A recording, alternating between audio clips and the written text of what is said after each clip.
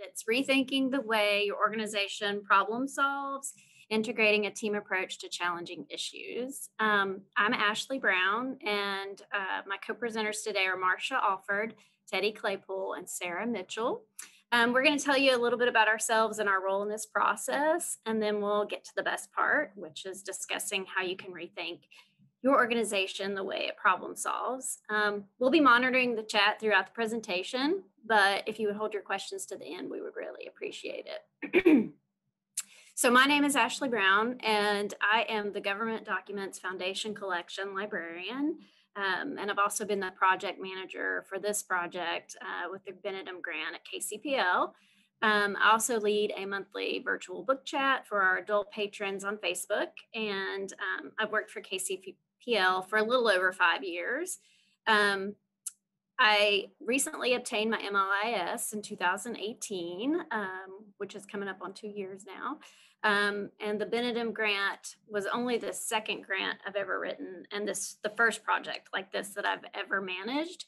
So I understand um, from the point of view of those of you who are unsure um, of ways to rethink problem solving um, in your organization. Um, I've recently been on the other side of that and gone through this process as a first time. So um, I think that we'll have some information that will be good to share with you.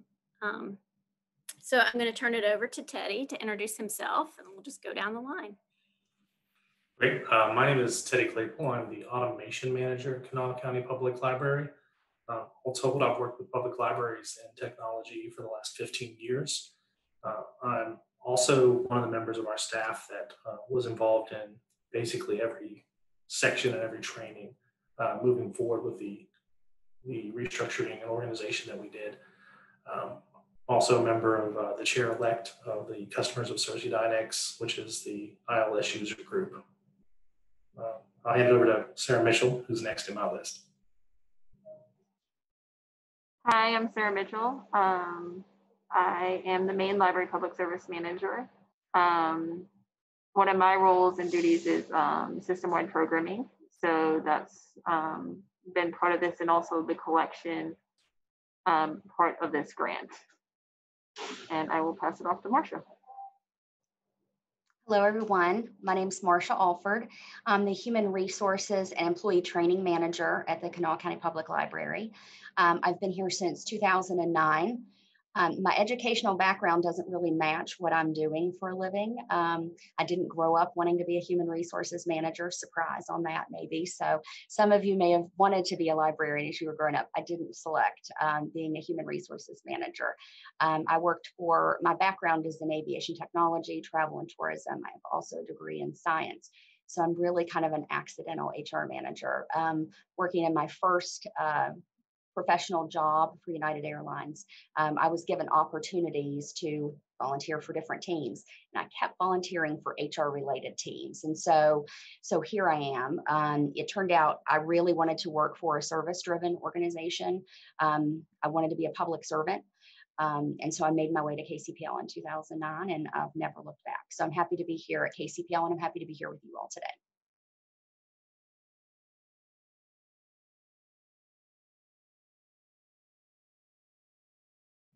I'm going to tell you a little bit about the brief background of us uh, pursuing this process um, and the Benedum grant.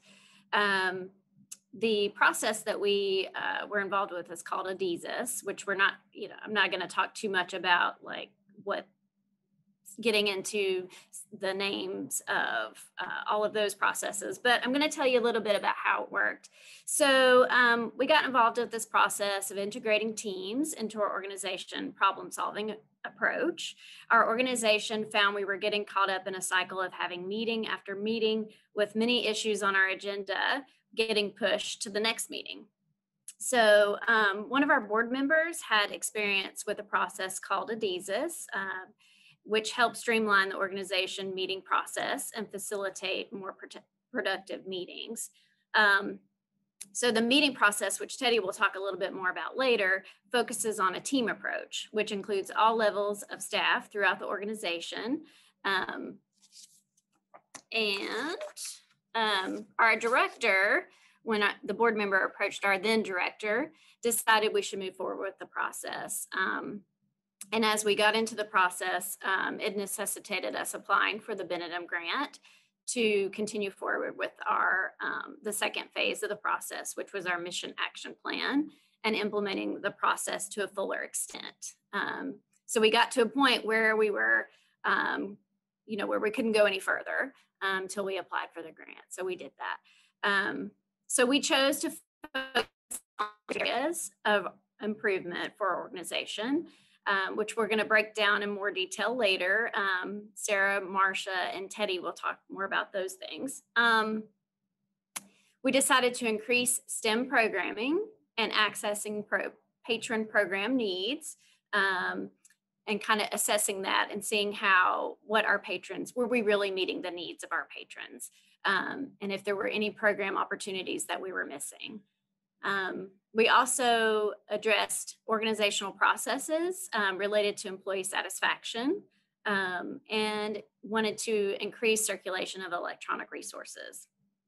And we'll talk about, like I said, all of those more in detail um, and also how COVID affected this process as well.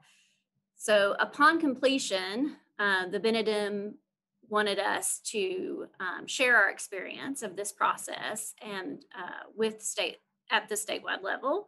Um, so we're here today to share um, our experience and what we learned um, through this process. Um, and so two areas I'm going to focus on. Um, as she said, there's three main things that we need to accomplish in the grant. And one was increase our circulation by 3%. Um, so our plan for that was actually we were going to start automatic renewals and we were going to launch that in March of 2020. As many people know, March of 2020 is when COVID hit um, for West Virginia. And so I'm going to talk about later how we switched our focus from automatic renewals to electronic resources. And when we talk about how we changed our process with COVID. The second thing is, is with programming. We needed to increase our numbers from 2,740 to 2,775 um, system-wide programs throughout the system in a year time frame. Um, and we did this by, and they wanted us to also focus on STEM. Because part of the goal of the Benedum grant was to focus externally and internally on our organization and seeing what we can improve. So with um, the first thing we did is we actually did a survey of our patrons. We did two different surveys. We did a survey of patrons that were already attending programs and the programs we were doing and what they thought of it. And then we did a survey of everyone saying, hey, if we don't have something you like, what would you like? How would you like it? And what location would you like it? Teddy is actually going to share links. I did two, I created uh, copies of our surveys that will be in a link because I use a software called Microsoft Forms um, which is a free software that we have through our Microsoft. And so you guys can even take the survey if you wish for the two different ones. We also did provide them in paper format for both of them so that we could get a full survey results because as some people know, pe people don't take it electronically. And we did this for about a month to collect all the data. Um, the second thing we did is we focused on STEM programming. And one of the things we did is every location, um, except for our location of Glasgow and Marmet, had to do one STEM program a month. It needed to be part of their regular scheduling things. In addition to that, we worked with collaborations. We had a project build program, which was a collaboration with the American Society of Civil Engineers. And then we also had with the West Virginia Extension Services. So we looked in our community and we started partnering with people to provide more STEM programs. Um, in addition to do this, one of the things we also did is we redid our stat sheet. And to redo our stat sheet, that was allowing other locations to see the stats of the other fellow branches so that we could share and collaborate better. But one of the biggest changes that we did is we um, started including more staff into programming um, KCPL has traditionally kept um, that this is a role that you're doing programming, and we expanded that into more people could do programming, and we were more able to use the assets of our staff in presenting programming. So that was one of the major changes that we did, which came from our internal look into the organization, which is leads into Marcia's part of the internal looking.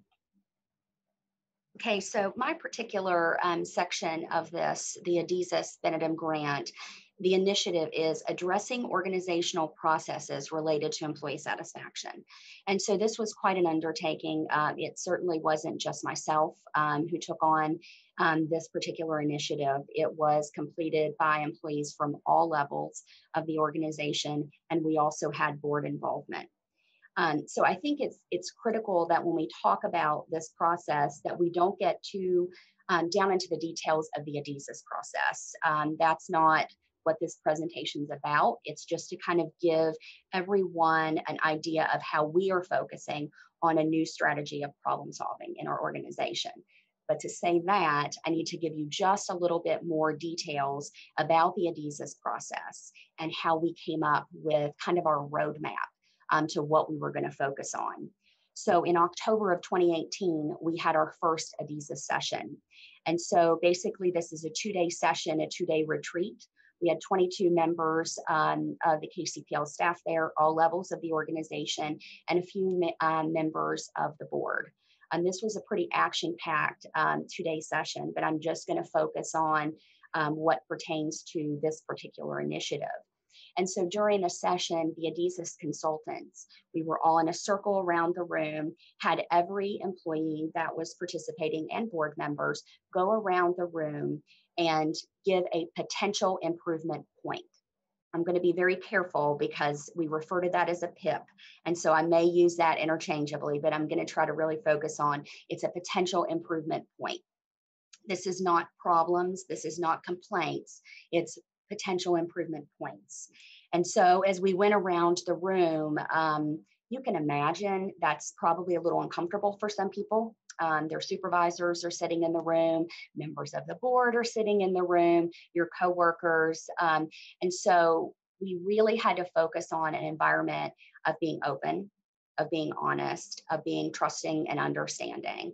And it, it went off really, really well. Um, so as we went around the room, um, you know, if your potential improvement point had already been mentioned by someone else, we just kept going around the room. Drum roll, please. Um, we came up with 148 potential improvement points. And yikes, I mean, that's a lot. Um, that's a lot of work. Um, that's a, a lot of things that maybe we should be doing that we weren't doing. Um, and so we had to kind of back up from that and say, okay, so what's next, right? So we have 148 um, potential improvement points. Um, so I'm, we immediately after this session started working, and as I mentioned, it was in 2018. Um, we didn't apply for the next portion of this, which is the mission action plan that Ashley mentioned, um, until 2019. So we had already started working on addressing potential improvement points. But the Benedum grant drew extra emphasis on that. And for this particular initiative, um, KCPL was asked to address 21 potential improvement points um, during the grant period. So I'm pleased to say, and it's a spoiler alert, I think Ashley's going to talk about the statistics later, um, that we did hit 26. Um, we addressed 26 potential improvement points during the grant process. So we were successful with this initiative and we continue to focus on those potential improvement points. Um, so as you can imagine, a lot of the potential improvement points kind of fall into my wheelhouse under my umbrella as the human resources and training manager. Um, I'll share some of those with you. Um, staff dissatisfaction with monetary compensation. Um, staff dissatisfaction with non-monetary compensation such as benefits. Um, some staff lack basic training skills to do their job. Job descriptions are too limiting. And I think that's something we've worked on where Sarah's talking about allowing additional people with their talents to do programming. Um, staff morale is poor, um, which is a concern. Um, but one of the ones that jumped out to me, and Teddy's going to speak after me about the team approach, um, was that staff feel mentally and physically unsafe at work. So I'm going to repeat that staff feel mentally and physically unsafe at work. And so Teddy, I think, is going to talk a little bit about the patterns, but there'll be a number of PIPs that go under kind of a, a larger umbrella, and this is one. So I'll talk about some of the items and concerns that staff had related to this um, particular pattern. Um, they're concerned about their personal safety when they're at work. They're concerned that a patron is going to bring bed bugs into the facility and they're going to take those home with them. Um, they're not sure how to address, uh, properly address individuals who are experiencing homelessness, um, drug deals in the library, overdoses in the library, drug use in the library, um, someone who is having a mental health crisis in the library. Um, in 2018, while we developed these PIPs, Kanawha County was also going through an outbreak of hepatitis A. And so that was a big concern for our staff as well. So we had, you know, a lot of potential improvement points to focus on, but some really rise to the top of urgency and seriousness. And this is one of those. And so we immediately started forming teams to address these issues. And so I'll let Teddy go ahead next with talking about how we form teams.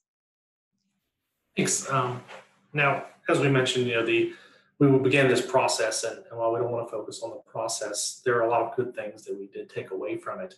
And one of them was the creation, uh, a specific process of creating the teams that we worked with.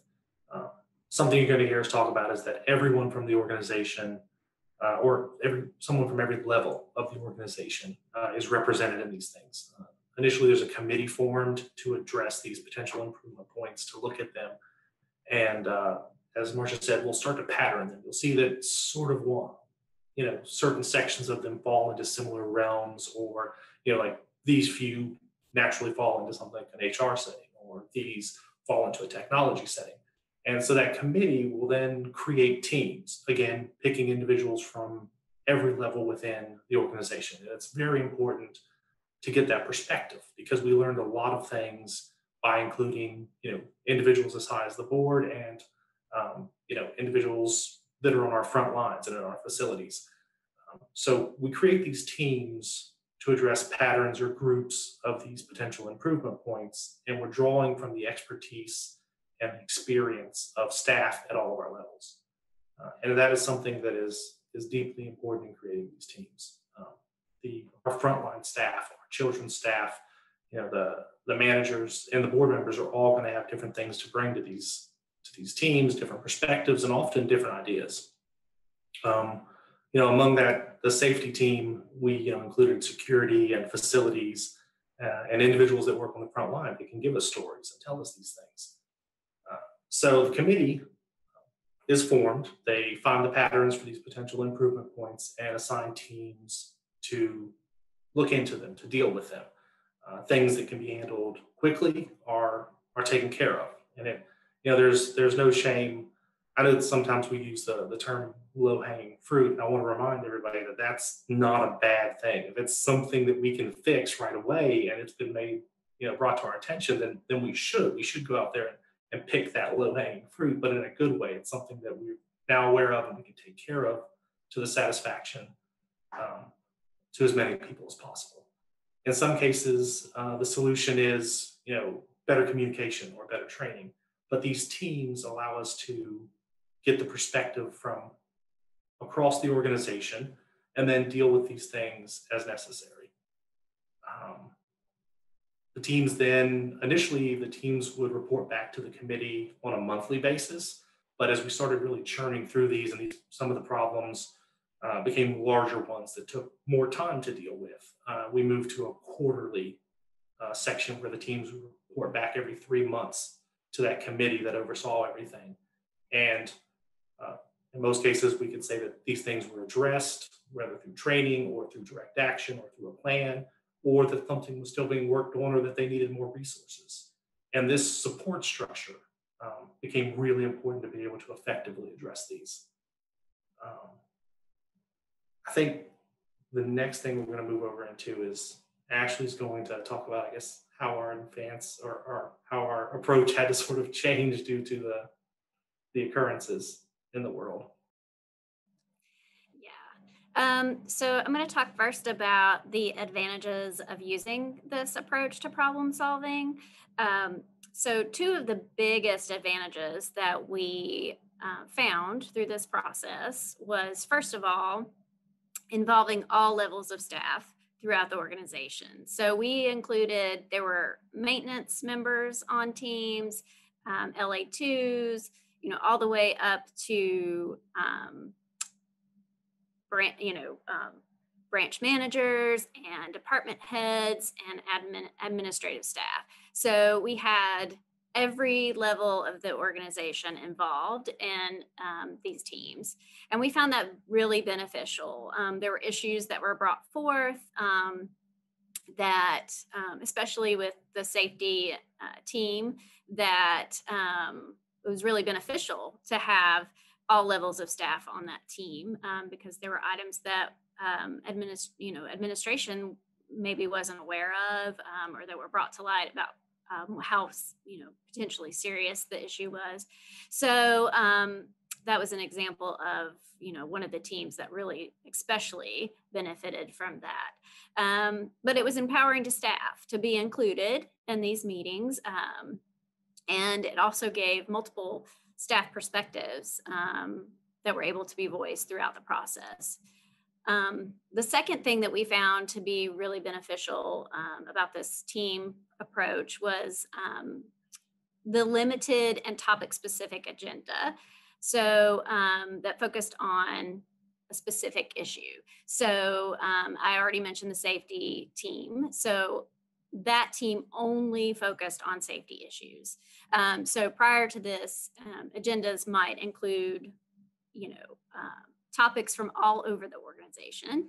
Um, and you know, you'd get tidbits of all of these little pieces of um, different things that were happening. But with this process, um, you go in and you've got an agenda only about safety. Um, and so you're, it's a very focused um, meeting. And the way that the process works is everyone gets a seat, you know, a seat at the table. They get to speak about um, issues that they are finding um, particularly challenging or um, and then it, you try to come up with a um, a follow-up for that issue so um, we found that really especially helpful to have the limited um, and topic specific agendas um, for several of our teams and then I'm, now i'm going to talk about the challenges of the project uh, so we had challenges pre-COVID too, um, and some of those were, um, you know, how do we get all these people in the meetings um, from all levels of the organization, system wide, from every branch. Um, so um, that necessitated a collaboration with branch managers.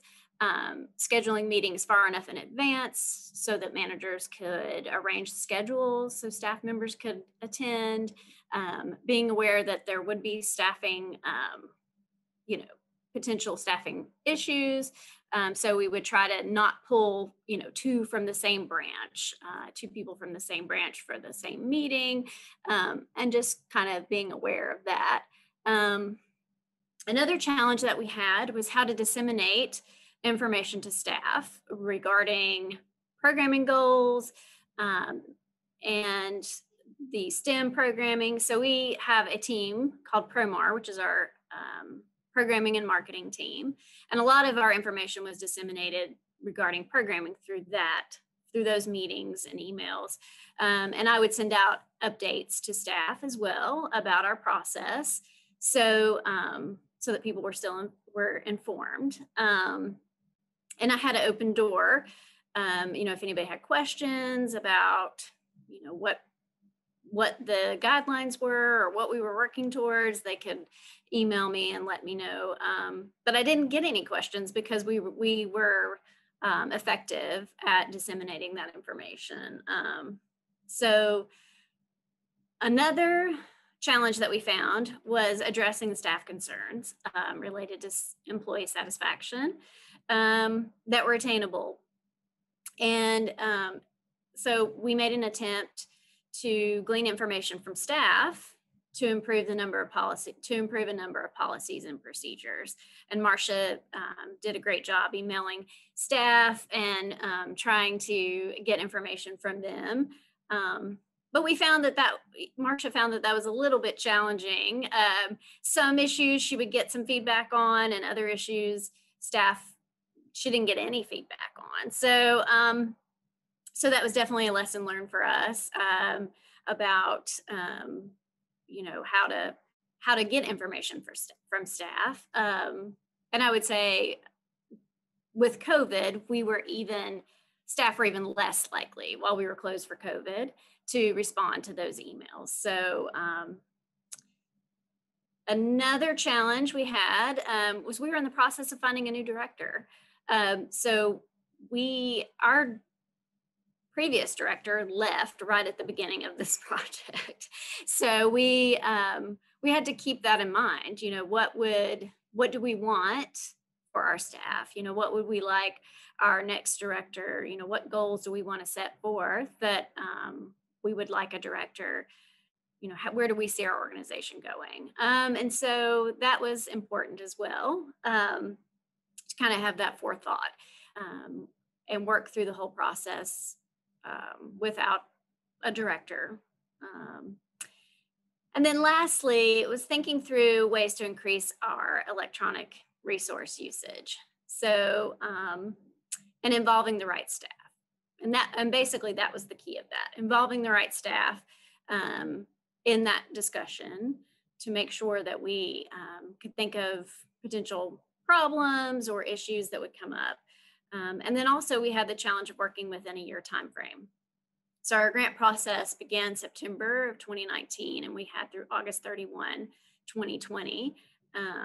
Um, so we had to think about what goals were tangible for the project. You know, what can we feasibly do within a year? Um, and as Teddy mentioned, you know, uh, some of that was the low hanging fruit, which is not a bad thing. Um, kind of figuring out what you can at- obtain within um, within the year timeframe um, was kind of very important for us during this process. Um,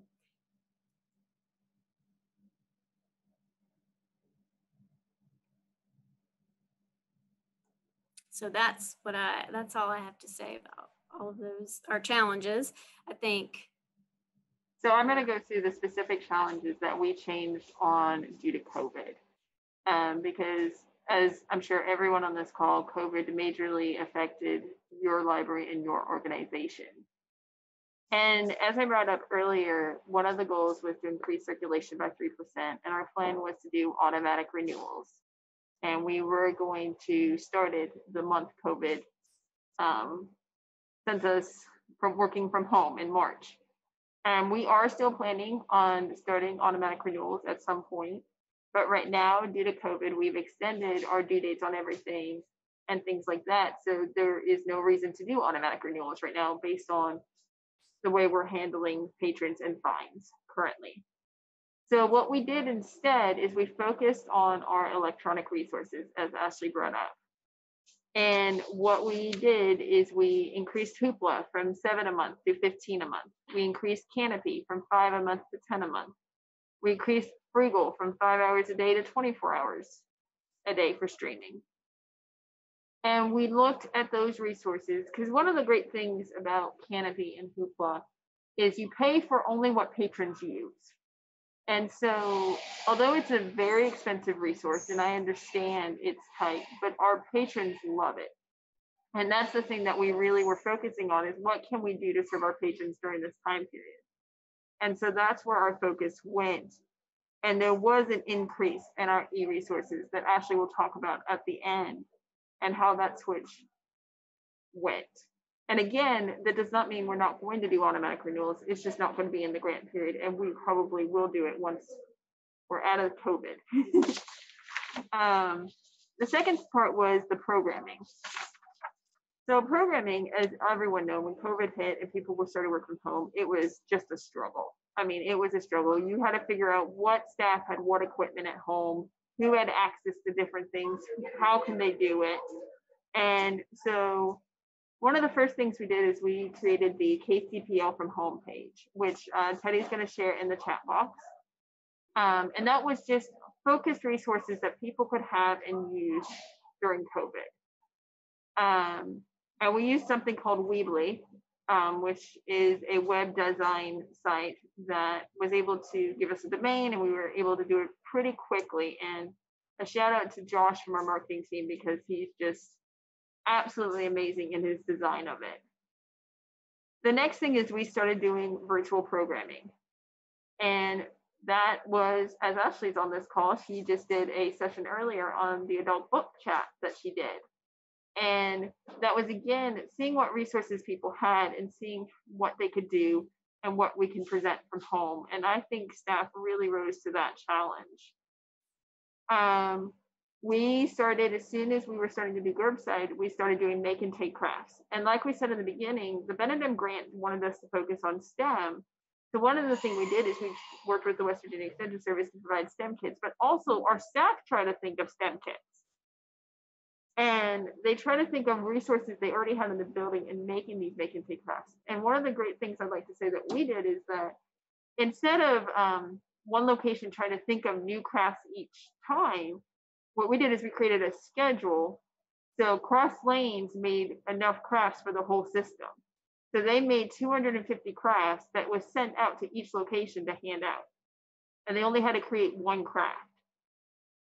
And then St. Albans did the exact same thing. They did one craft, 250 items, and they sent it out to the whole system. So we were sharing resources and working together. Another thing that we did is we started being like, okay, where are we reaching our patrons virtually? And what we realized is that different ages we reach patrons at different locations. I've never heard about Discord until COVID. Discord is the team platform that our team librarian uses, and we do all of our team programs through the platform called Discord.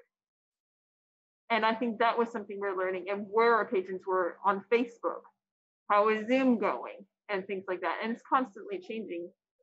But SLC came around, summer library, I'm sure that's something that we all face that we try to work around. We normally work very extensively with our daycares, but the daycares were closed. So how are we going to work around that? And finding a complete virtual summer library program. So these are just challenges we face, but I really think we just adapt and work and like we've learned so much. And the main thing is, is we've learned that this is a new way we can present programming. So we're going to continue to do virtual programming even past COVID because we are reaching patrons this way. So that's the main thing. And the last one of the last things we did is we also did a virtual library card. And so that's one of those things that served both the collection part and the programming part is that we were providing virtual library cards when people could not come in through an email process. So that was a nice thing that we did. Um, and then that leads into Marcia's in which she talks about the internal things. Okay, so some of our internal focuses. So when we're we're tasked with doing our third initiative, um, we started looking at the potential improvement points, and so some of them kind of rose to the top because of the urgency or the seriousness of them. And I'm I'm specifically speaking about the PIP I mentioned earlier about staff feeling mentally and physically unsafe at work.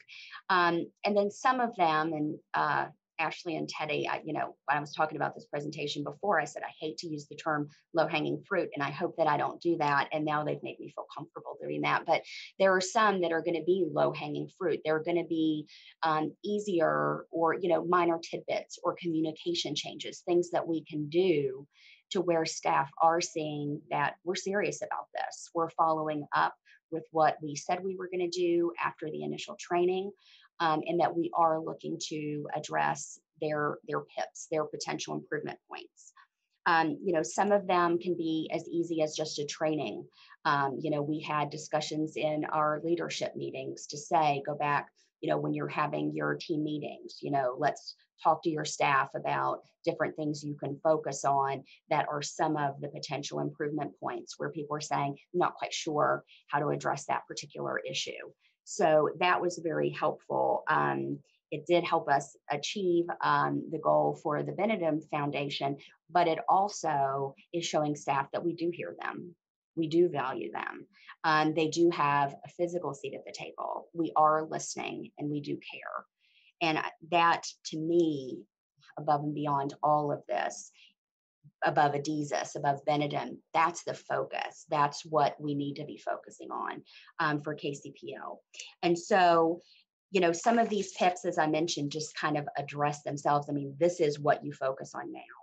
Um, I'm not going to go into, I initially had thought I would talk about just one PIP and how we address that and what we did really well with that PIP. And I don't know that that's going to be that helpful. If we're trying to give you some tips about how to address different um, communication issues, training issues, and things in your organization, I think it's better to just kind of give you a broad overview of some of the things that I think that the organization did particularly well to address some of these PIPs.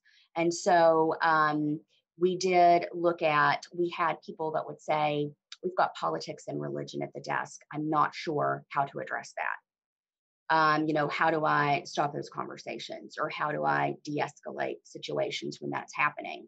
Um, we're not consistently addressing our pa- patron code of behavior. Um, clarification of how to use vacancy hours. Like those are some of what I would refer to as low hanging fruit of where we're saying, okay, so let's focus on staff training for these things that are being rolled out in P meetings with individual branches. We have a little bit of a challenge here because we have over 140 employees and we have 11 locations if you include the bookmobile. So to say we're going to walk through a building and get someone's, you know, input every single day or once a week i'm going to see all of the employees in the system that's just not physically possible and so we had to try to even though we want people to have a seat at the table we have to try to come up with other ways that we can reach employees. And so through training in their individual branch locations just discussions during uh, staff meetings um, also staff development day um, one of their concerns was how do we effectively um, engage and interact with individuals experiencing homelessness. And so Ryan Dowd, who actually did, was the keynote speaker um, for this conference, he was a staff development day speaker, and we did a half day training with him. Um, one of the employees' concerns is how do we interact in a multi generational workforce? Um, right now, we have a more diverse age group working in America than we ever have in the history of this country. Um, I don't know the statistics in the world, it could be the same, but in the United States, we have a more diverse age group. And so, how do we work together um, and learn different approaches to communicate with people who are from different age groups? Um, we did mention the fall retreat that we had last fall, um, which was the mission action plan. And that's what the Benedum grant um, was for. It was specifically for us to move into that two day session. Um, out of that two day session, um, we came up with a long range plan. Um, for three years, we came up with a vision statement, a mission statement, but we also were able to address some of these PIPs um, that are more of a philosophical or organizational priorities, um, kind of the vision of the organization. So the mission action plan accomplished a lot. Um, and we're very thankful um, that we were successful in getting this grant um, and that we had an opportunity to move to that next step of the process. One of the things we started right after the PIPs were announced, this isn't something we can count towards the Benedum grant, um, but it is something that we did as a staff newsletter. And so we're putting out a staff newsletter monthly, and this is just another form of communication that we're having. Um, you know, we can celebrate staff dates of hire and, you know, babies born and things like that. But it also has a lot of good information, um, an, an, article directly every month from our library director. Um, there's an HR corner where I'll talk about different things with COVID. Um, how to build a good rapport. Oh, that's a spoiler alert because that's next month. Um, how to um, build good rapport with um, patrons or customers when you're wearing a mask. Um, so, you know, there's a lot of things that we'll talk about um, in this staff newsletter, but it's not all serious stuff. Some of it is we are celebrating our successes. We're highlighting a branch each month um, for different things that they're doing. So the staff newsletter did come specifically out of the potential improvement points. Um, as I mentioned, you know, being the size of the organization where it's just impossible um, to be able to communicate with everyone directly. And so I started sending out emails. Um, once we announced the Benedum grant last fall, I started sending out emails and I would just you know select through the name list to try to get to employees for a specific potential improvement point and asking for their feedback and i was very deliberate in this isn't the human resources manager that's reaching out to you and wants to know you know like there's some kind of problem no this is specifically grant and Adizes process related and i'd love your feedback and as ashley mentioned you know we had kind of mixed um, some people would participate, some didn't. That's okay. Um, and some people would say, hmm, I'm surprised that this is an issue that someone else brought up. You know, our patrons aren't complaining about our service hours. They understand when we're open. You know, they didn't expect us to be closed on Veterans Day, for example. So um, I, I received some good feedback and some things that we were able to kind of to expand on and move forward.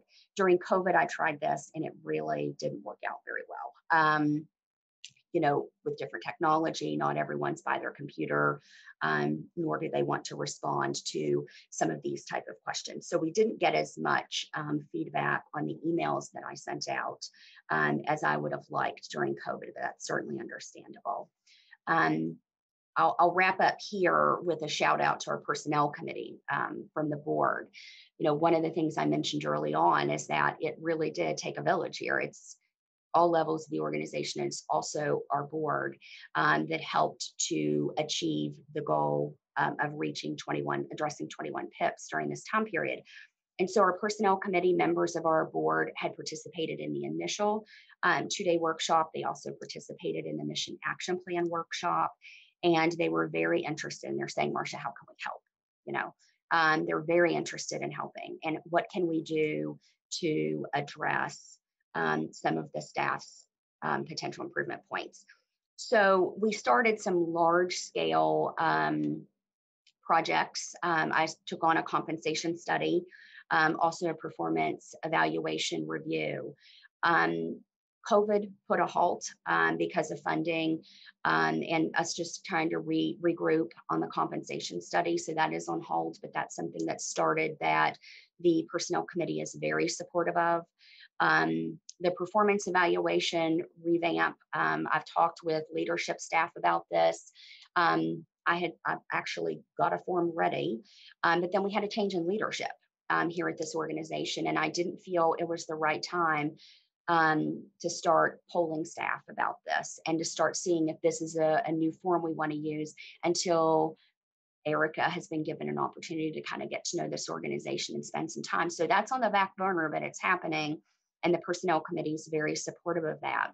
Um, two things that we have put in place um, employees were talking about um, regular pay increases. That's not been something that's happened at KCPL. It's not a guarantee in the past that every year you're going to get a pay increase. And so um, this past winter, um, the board approved a step increase. Um, it's an employee compensation policy where KCPL employees, as long as funding is stable, um, will receive a 1.5% increase every year.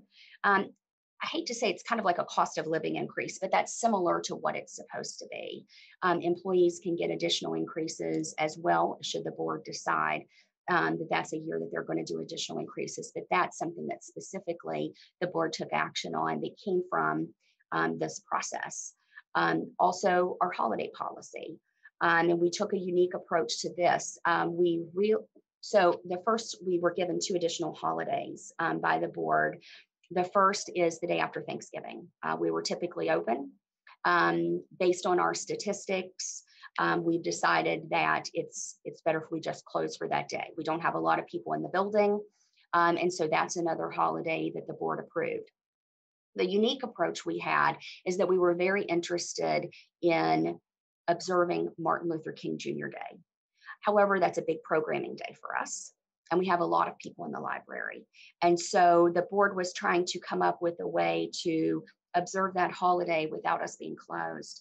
And what they decided to do is to give a floating holiday. And so we will be open. This will be our first year that we do it this, this January in the 2021. Um, we will be open Um, but as long as it's operationally feasible, employees can ask to use their floating holiday that day, or they can use it sometime that week or the week before. So we're still acknowledging and observing the holiday, but we're not closing the library to do that. So I felt like that was a great um, approach uh, for the board to take to be able to recognize that, but again, still provide service on that day. Um, so that's that's pretty much it for my section. Now I'm going to turn it over to Ashley. She's going to talk a little bit about our results, kind of the numbers, and then she's going to lead us into the summary. Okay, yeah, and I was gonna also um, add a positive um, success. I guess one of the things that we that came out of this process um, as an example of kind of something getting moving ahead faster than it normally would have, um, and that was an initiative that we were interested in, which was to provide um, community um, services to our patrons. And so um, it kind of was serendipitous, I guess. Um, I found out that Catholic Charities in Charleston was interested in partnering specifically with the library um, to offer community support services. And we have been interested in this as well. So um, they would provide the services without religious promotion or requirement. So we were interested in pursuing it. Um, and what it resulted in was um, they were able to provide services for a wide range of situations, including homelessness, um, emergency crisis resources for utility bills, um, legal support, veteran services, food and clothing resources, and um, helping people with eviction um, questions and process. So um, that was something that we were really interested in. And it started about a month before COVID, month and a half before COVID. Um, we were able to, um, from start to finish, I think it got approved within and started within a month. Um, and so uh, we we acted very quickly on it through this process and um, we're able to get them in really soon and get it started and we were seeing people come to visit um, the community support services before COVID happened. So we hope that'll be something we can resume once COVID is over. Um, so I wanted to, to mention that as a process that was, we were able to get that moved through the line a little bit more quickly than we normally would have. Um, now to results. So this is the numbers part, um, which I like numbers. I know not everyone does, but so I'm gonna, I'm not gonna make it boring. I'm gonna talk just a little bit about. Um, so we were tasked with increasing programming by three percent. Um, while COVID definitely impacted that process, um, we were able to take programming, of course, to the next level with our online program that Sarah talked about. And just increasing as much as we could online programming through those various platforms. And combined um, for the last, so from t- through this year, we've had a combined of 21,680 in person and virtual program attendees. So, um, and a lot of that is virtual attendees. Um, some, I can't remember which month it was, but we had around 6,000 people um, in one of the months that attended virtually. So it's been really successful, us moving to um, meeting the needs of our patrons through virtual programming. We also um, were interested in increasing STEM programming. So we increased um, STEM programming to at least one STEM program per branch per month. So each branch would do a STEM program per month. Um, and that was really successful and we were getting great feedback about that. Um, and they're still can like sarah said they're still continuing to do um, take you know make and take kits and things like that. So we're we're continuing um, to focus on that stem programming even through covid.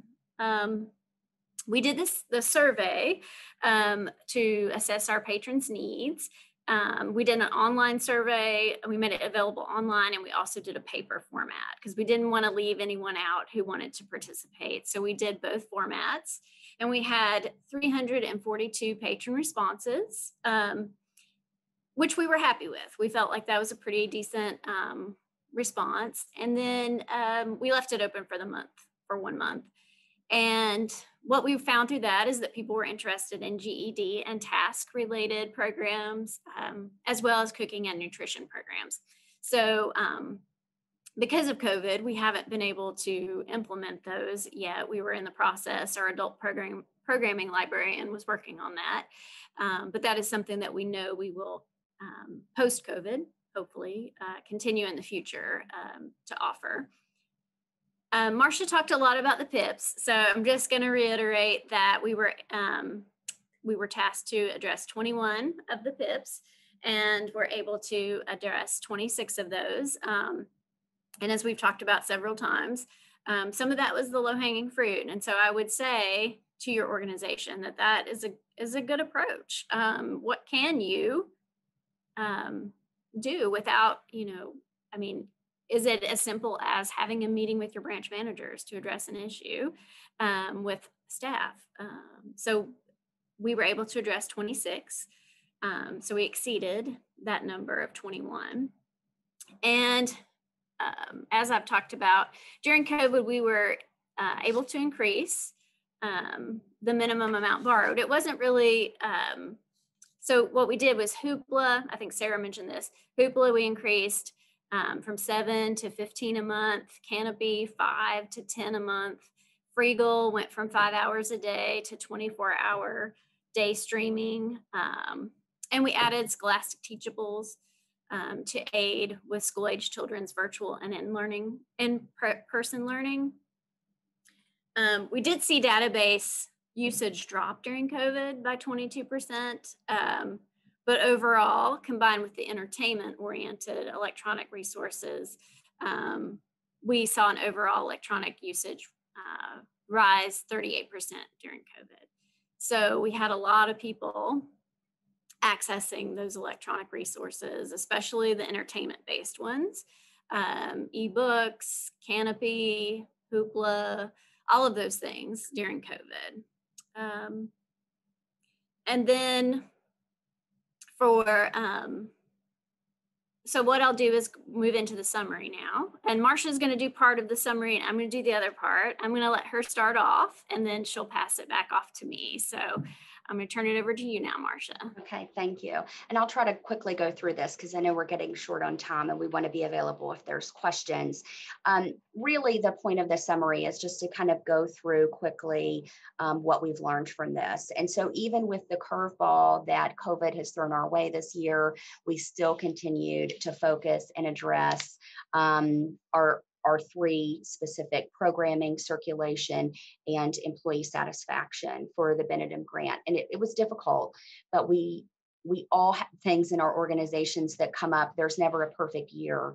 Um, there's going to be staffing issues. There's going to be, um, you know, there could be funding issues, competing priorities. So just to kind of keep your eye on the prize and to focus on smaller tasks of, of how you can take on something like this was good for me. Um, I consider myself a problem solver. So to say I'm going to problem solve and I'm going to fix or I'm going to correct 148 potential improvement points in the system is impossible. And so the thought of just Jesus using the word addressing, we're addressing them. And to know that there's going to be a cascade of what happens. You can address some of these smaller items, low hanging fruit, and they may indirectly impact larger issues um, in the system. And so I think that's something really important to focus on that just because this may seem like a simple training tip um, that you're giving for employees it may help them feel safer in the workplace um, you know there may be things that you're doing that you think seem pretty small um, that are making a large impact um, all pips are not created equal. So when we said we've got 148 of these and how are we going to start addressing them um, that's it's not just we start at number one and go to number 148 it's looking at urgent pips it's looking at things that we can address that we hope have a cascading impact um, on other employee concerns. Um, i talked about it. Even minor um, improvements can go a long way and listen to your staff and get their input directly um, I felt like I was doing a pretty good job as an individual of getting staff input because it's critical for me But what I did not realize is that staff didn't feel necessarily heard from me because the information they were giving to me was filtered through their manager. And so I think having a seat at the table or having opportunities to email directly with me about a specific PIP um, has been helpful. Um, I will say, I think this process has helped overall communication in the system, but I don't think that every single employee would say they agree.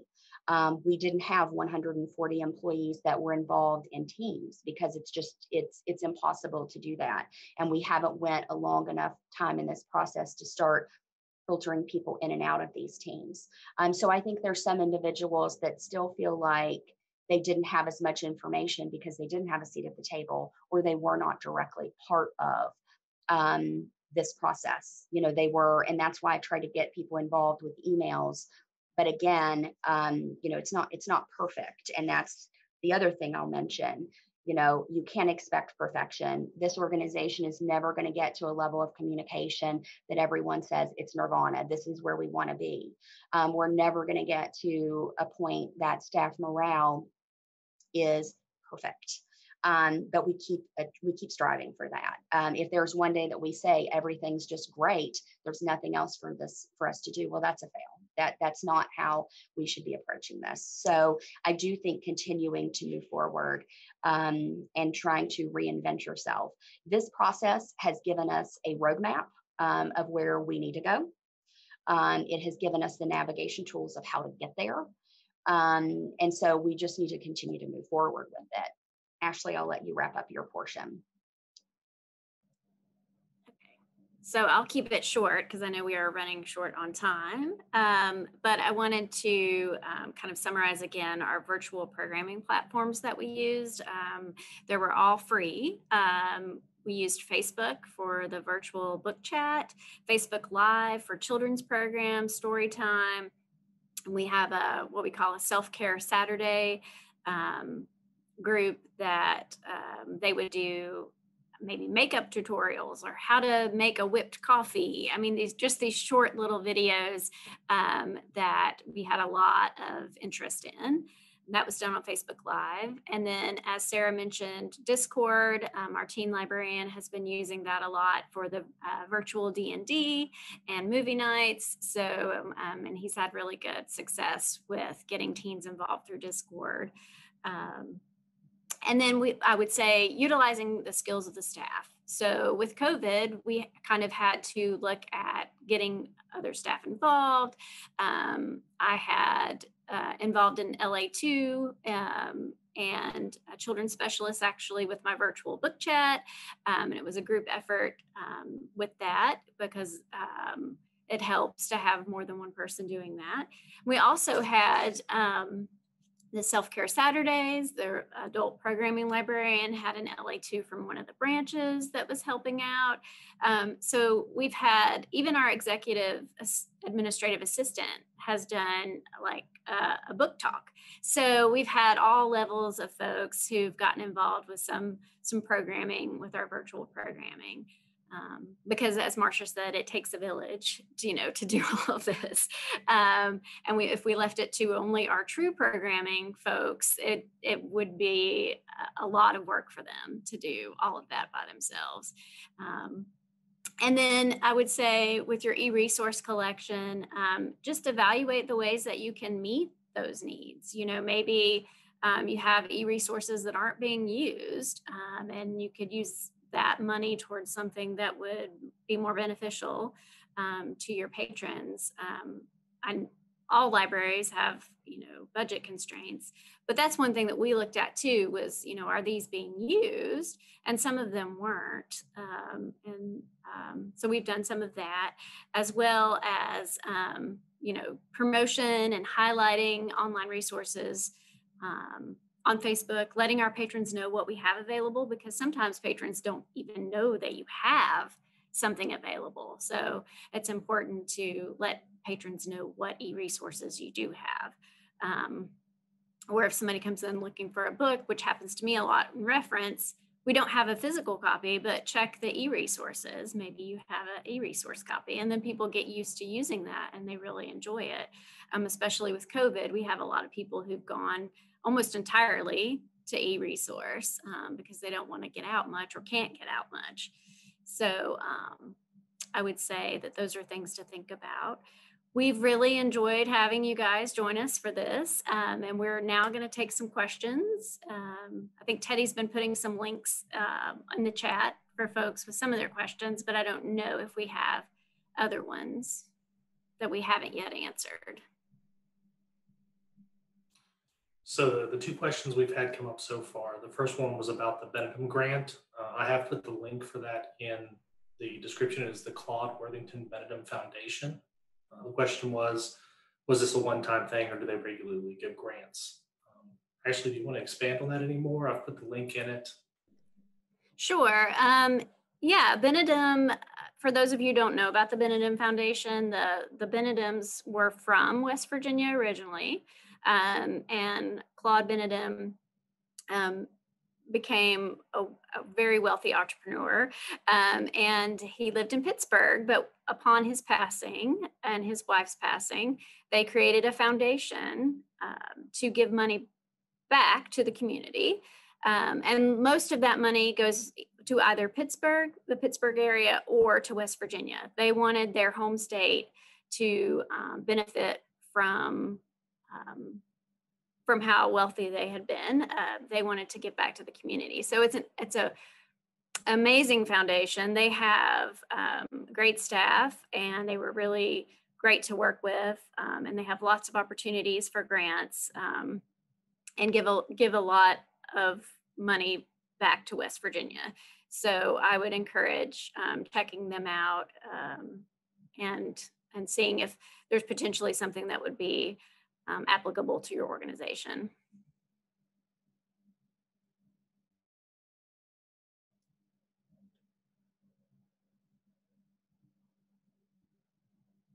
Do we have any other questions? Yeah, our next question was about our newsletter. They were interested in a format. I've shared a copy of our October newsletter, but um, Sarah or Marcia, would either one of you like to talk about how we use LibraryAware and, and for our newsletter?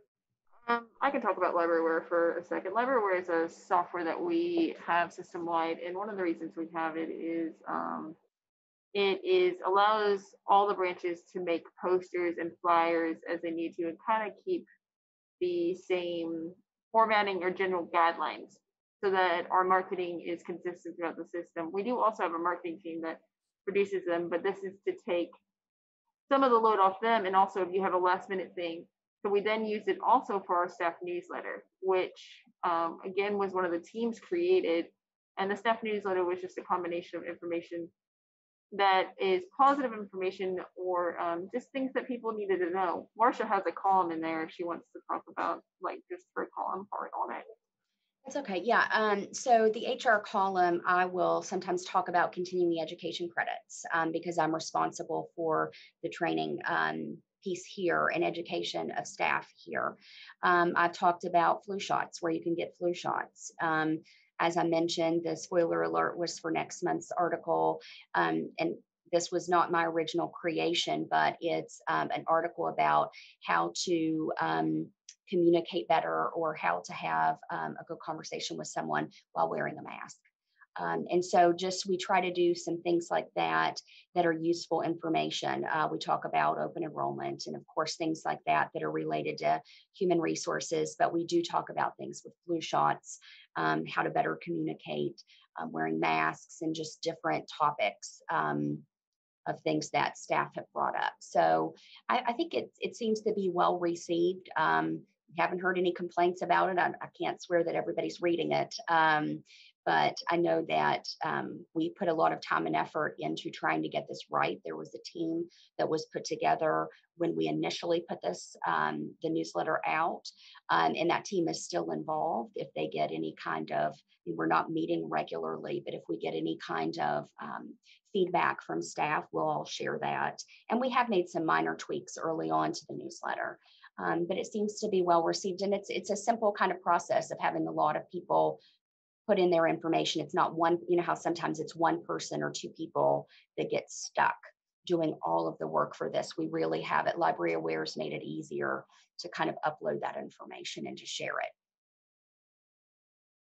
I did see that Beth um, Anderson had commented that the Benedum uh, Foundation had funded their back room in the late 90s. So I think that's just another example um, of, of the good things that they're doing in West Virginia. I'd like to, to comment that, you know, the newsletter is just one form of engagement that we're using internally. Uh, if you read that newsletter, it also mentions a television program called More Than Books that we're doing in conjunction with the Library Commission's television network. And that focuses a lot on communication with our, our public and our community.